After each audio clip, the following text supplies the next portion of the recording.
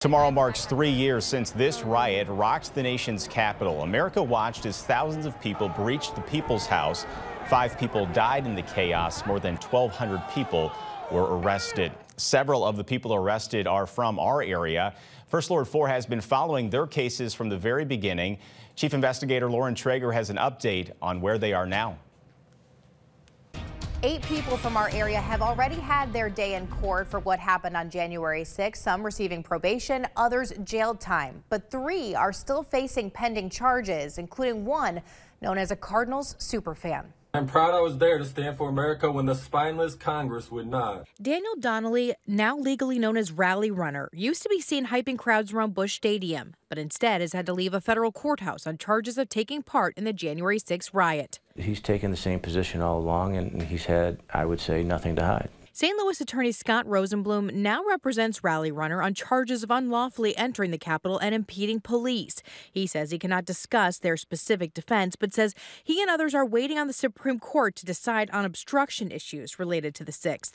The criminal process against Capitol defendants, he says, is very much ongoing. And I think it has to be sorted out and parsed out to determine um, who was responsible for what and what punishment and not just mete out blanket punishment for everybody that showed up at the Capitol that day. That would be um, inappropriate and unlawful.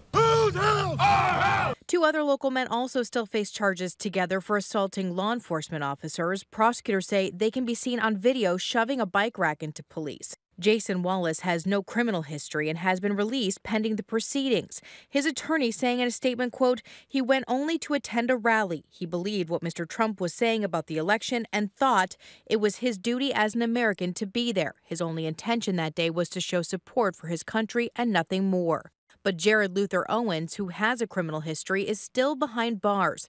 Federal prosecutors recently released text messages from him reading, quote, LOL, we broke at least three police lines. And, quote, I finally got to blank up some cops. I didn't steal or break anything. It was kind of locker room talk, you know, that they had been there and all of this had happened. Owens' attorney, Christy Fulnecki, says he and others are simply political prisoners. She says the prosecutor's evidence is not proof. Watching that video, I just it looked like they were pushing it out of the way. And I don't even think it was my client. I don't think he even touched it. Hoping for his release and ultimate vindication in court. As far as we're concerned, my client is not guilty on all charges. A judge in D.C. is deciding if Owen should stay behind bars, but looks to be making preparations for him to return home to Missouri. We'll certainly keep tracking all of these cases. For First Alert 4 Investigates, I'm Lauren Trager.